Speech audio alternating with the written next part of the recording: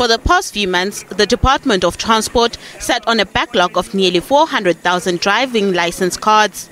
The breakdown of the only driver's license card printing machine in the country worsened the situation. The department was already months into dealing with a backlog caused by its erratic online booking system.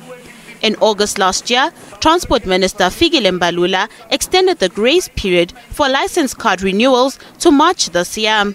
On Tuesday, Mbalula took to his Facebook page to report that the card machine had been fixed and was in operation.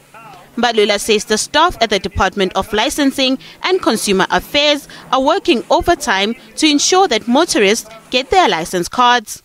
Here are your cards. They're coming your way. They are working day and night. Come close, my man.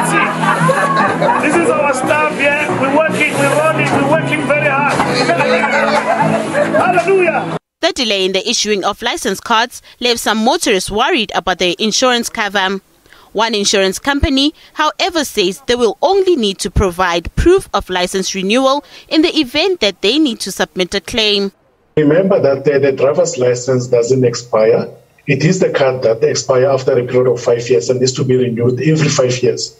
So what we have taken, uh, we have decided as, as, as an organization is that uh, we will be fair to our customers, we'll give uh, our customers an opportunity to go and renew their driver's licenses. So, in other words, if, for example, there's a claim, then uh, the drivers, uh, the, the insured will be uh, presented an opportunity, for example, to provide some time with proof that the, the driver's license card has been renewed. The short-term insurance ombudsman recommends that motorists should at all times inform their insurers of any changes during the period of their cover highly recommended to inform your insurer that look i'm one of these people that's affected so my license has expired i've tried to renew circumstances outside of my control please keep this on record that i'm affected in 2020, the Department of Transport announced plans to introduce an electronic card system to replace the current card driver's license card.